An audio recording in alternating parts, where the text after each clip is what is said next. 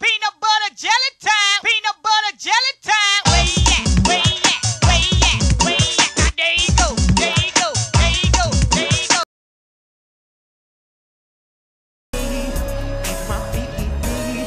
Grinding slowly to me, to me, me, he, he, he, he, he, he, he,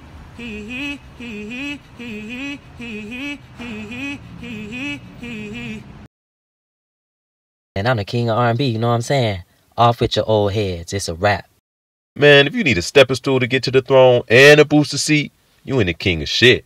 You need to slow down, man. You gotta wait your turn. Yeah, man, there's a lot of people in line for that title behind me. You know, I put out an album with a song for every day of the year.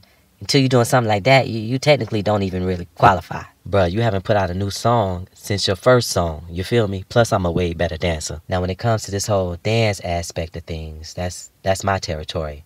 Now I really let people just come up and speak on that, especially if they're looking like something out of the Lion King or off of Stephen King, whatever. You know, not the king of R&B. Man, I would tell you to go try Dancing with the Stars, but they passed on you like vegan macaroni with raisins. And you ain't put out a hit record since I was born. You know, I think that's that's really funny that you would even say that. You know, because uh, the next the next hit I put out, uh, you gonna end up dead. What are some of your best flops?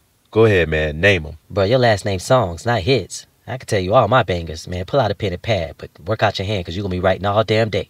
Your ego is, is, is very much like Rick Ross, you know, but them vocals is giving me dental floss. Man, fuck these young kids. they don't know what's going on. Well, you done had hit songs like lately, and, and what's the name of the other hit song I had? What's It was what's just name? one. Ain't nobody asking. Yeah, it was just that one, bro. man. Fuck y'all.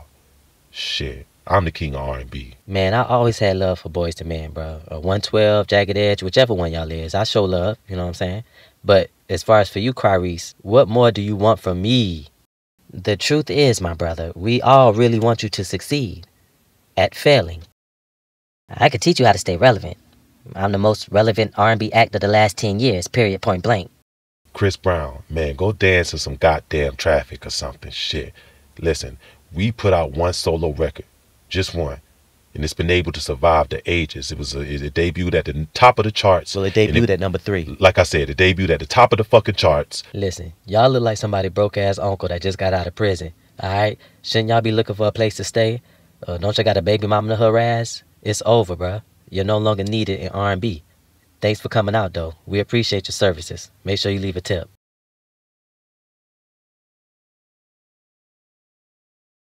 Appreciate your audition, but we found what we needed. We'll call you. Hold the fuck on. I have a question since you ruined my damn song. What does the King of R&B stand for? Raggedy and black? Cause girl, look at those feet. Oh my, girl, what in the Jeepers Creepers hell are those? If you ever come near me with those ashy abominations, bitch, I- I'm running the other fucking way.